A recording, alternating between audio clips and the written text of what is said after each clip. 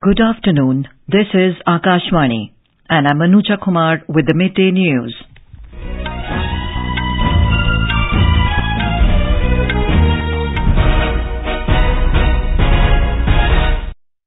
The headlines. Both houses of parliament adjourned till 2 p.m. following uproarious scenes over Manipur issue. Government accuses opposition of running away from debate. Finance Minister Nirmala Sitharaman says government has instructed all banks to deal with loan repayment issues with sensitivity and humane approach.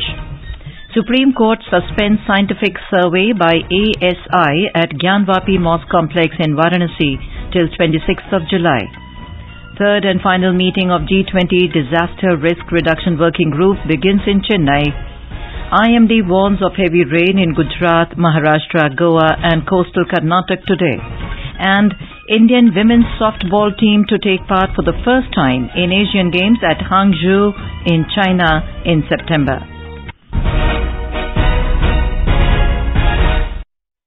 And now the news in detail. Both houses of parliament today continued to witness protests from the opposition parties over the issue of Manipur violence on the third consecutive day. The Lok Sabha and the Rajya Sabha were adjourned till 2 p.m. In the Lok Sabha, when the House met after first adjournment at 12 noon, members of opposition parties, including Congress, DMK and JDU, again trooped into the well, raising slogans and displaying placards. They were demanding Prime Minister Narendra Modi's statement in the House over Manipur violence. Amid din, three P bills were introduced in the House. Amid ruckus, the presiding officer repeatedly urged the protesting members to allow the House to function, but they continued with their sloganeering, leading to adjournment of the House till 2 p.m. In the morning, when the House met for the day, members of opposition parties trooped into the well, raising slogans and displaying placards. Amid din, Speaker Om Birla said the government is ready for discussion and it can be taken up after 12 noon after all party consensus. मेरा आपसे आग्रह है सदन चले आप अपनी बात रखें मैं पर्याप्त समय पर्याप्त अवसर आपको हर मुद्दे पर बात रखने के लिए दूँगा मैं पुनः सभी मान्य सदस्यों से आग्रह करता हूँ कि वो अपनी अपनी सीट पर जाएँ In the Rajya Sabha, when the House met after first adjournment at 12 noon, opposition members from Congress, Aam Aadmi Party, DMK and others trooped into the well, demanding the Prime Minister's statement on the Manipur issue on the floor of the House. Chairman Jagdeep Dhankhar repeatedly asked the protesting members to allow the House to function, but they continued with their protest. Amid din, the chairman tried to run the question hour, but in vain. He suspended Aam Aadmi Party MP Sanjay Singh for remaining part of the current monsoon session for his unruly behaviour. Later, the House was adjourned till 2 p.m. Parliamentary Affairs Minister Prahlad Joshi today accused the opposition of running away from debate on the Manipur violence issue. Talking to reporters outside the parliament, he said no one is able to understand opposition strategy. Mr. Joshi reiterated that the government is ready for discussion on the Manipur violence issue and urged the opposition to take part in the discussion. Finance Minister Nirmala Sitharaman has said that the government has instructed all banks to deal with loan repayment issues with sensitivity and humane approach. Replying to a supplementary during the question hour today, the minister said it has come to her notice that some private and public sector banks act mercilessly in cases of loan repayments. She added that suitable instructions in consultation with the RBI have been issued to banks to deal with such cases in a humanitarian manner. I know I've heard complaints about how very mercilessly the paying back has been followed up by some banks, whether they are public sector banks or private sector banks. The government has made sure through the RBI also to trust such banks that such harsh steps should not be taken and that they should approach this whole matter with a humanity in mind and sensitivity in mind. That instruction has been given to all the banks, be it private or public. The government today said the extension of the deadline for the exchange of 2000 rupee note beyond 30th of September this year is not under consideration at present. In a written reply in the Lok Sabha, the Minister of State for Finance Pankaj Chaudhary said, as per the Reserve Bank of India, the value of 2000 rupee denomination bank notes in circulation is 84,000 crore rupees and the percentage of 2000 rupees denomination in total banknotes in circulation is 2.51% as on the 30th of last month. The Minister of Skill Development and Entrepreneurship, Dharmendra Pradhan, has informed that over 27,87,000 candidates were skilled under Pradhan Mantri Kaushal Vikas Yojana between 2020 and 2023.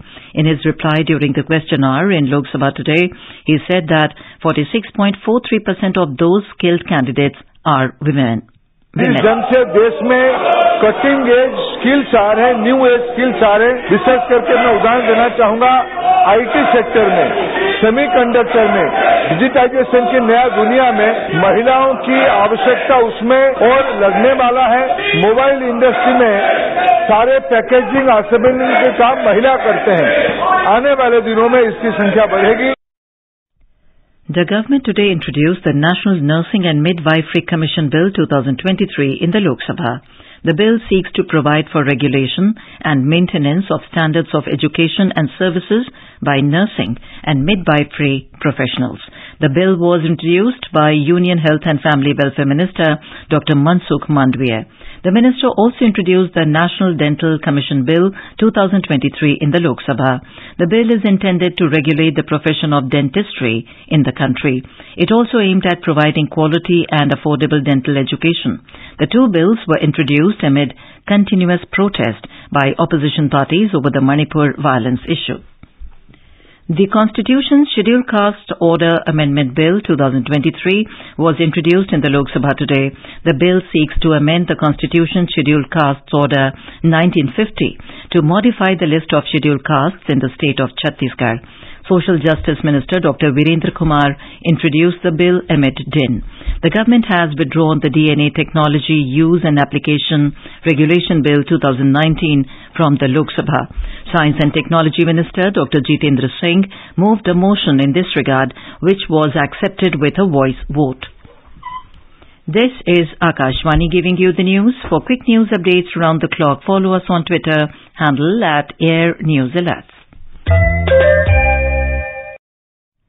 The Supreme Court today suspended the survey being conducted by Archaeological Survey of India or ASI at Gyanvapi Mosque in Varanasi for two days.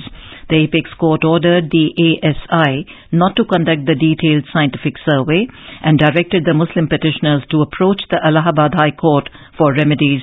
A bench headed by Chief Justice of India D.Y. Chandrachud said the court gave time till 26th of this month to the Gyanvapi Mosque Management Committee to challenge the ASI order of the Varanasi court before the High Court. A scientific investigation began today to determine if the mosque located next to the Kashi Vishwanath temple in Varanasi was built upon a temple. A 30-member team of ASI began the survey in the morning. The development came after Muslim petitioners from the Mosque Management Committee filed a plea seeking a stay on a Varanasi District Court's order for an ASI survey of the mosque. The Uttar Pradesh government will construct Kalyan Mandapam in each district of the state for holding weddings and other auspicious programs. Chief Minister Yogi Adityanath announced the scheme yesterday. Addressing a public rally in Gorakhpur, Mr. Yogi said the Kalyan Mandapam scheme would start from Gorakhpur.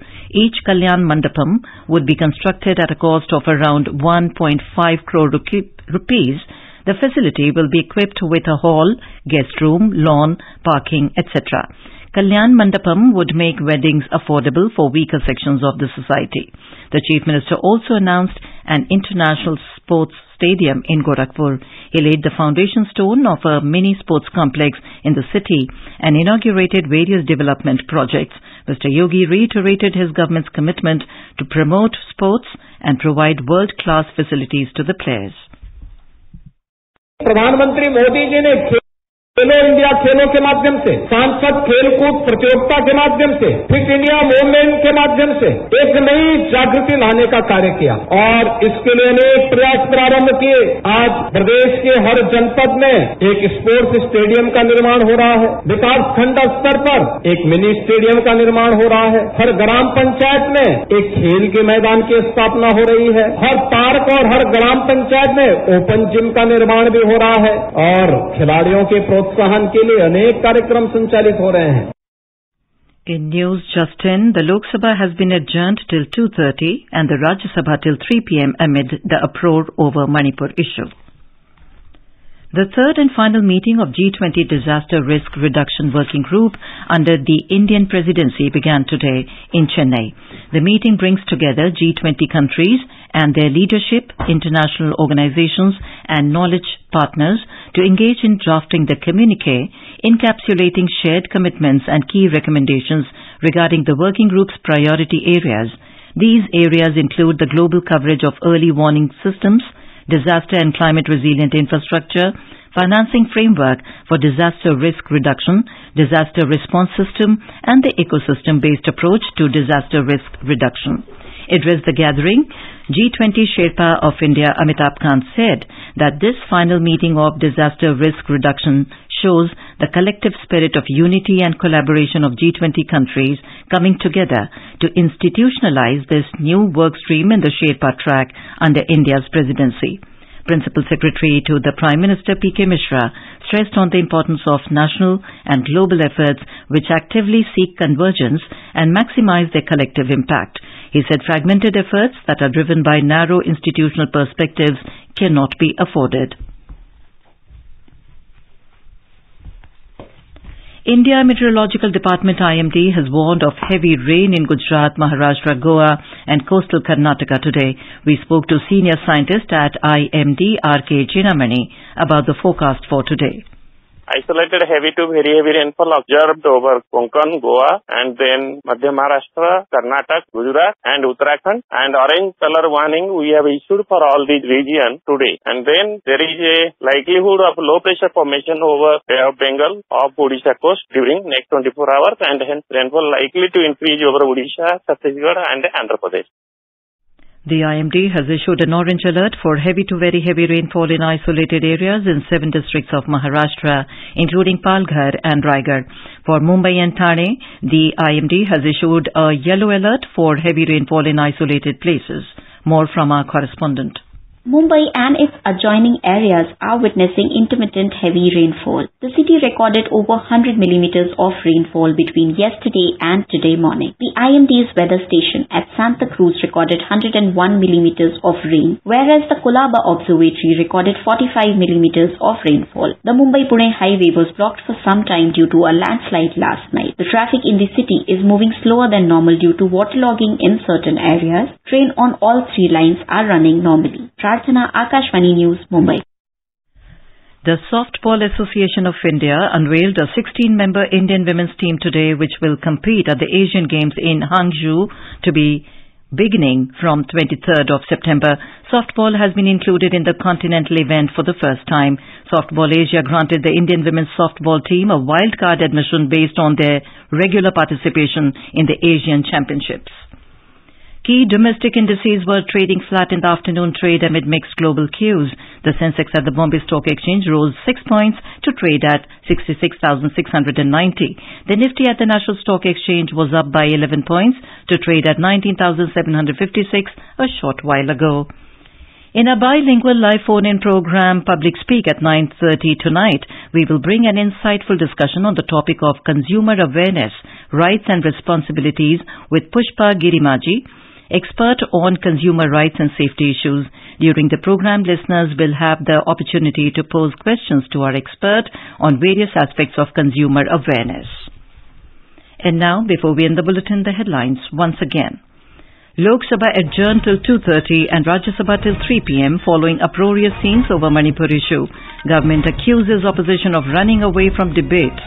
Finance Minister Nirmala Sitharaman says government has instructed all banks to deal with loan repayment issues with sensitivity and humane approach. Supreme Court suspends scientific survey by ASI at Gyanvapi Mosque Complex in Varanasi till 26th of July. Third and final meeting of G20 Disaster Risk Reduction Working Group begins in Chennai. IMD warns of heavy rain in Gujarat, Maharashtra, Goa and coastal Karnataka today and Indian women's softball team to take part for the first time in Asian Games at Hangzhou in China in September. And with that we end the midday news.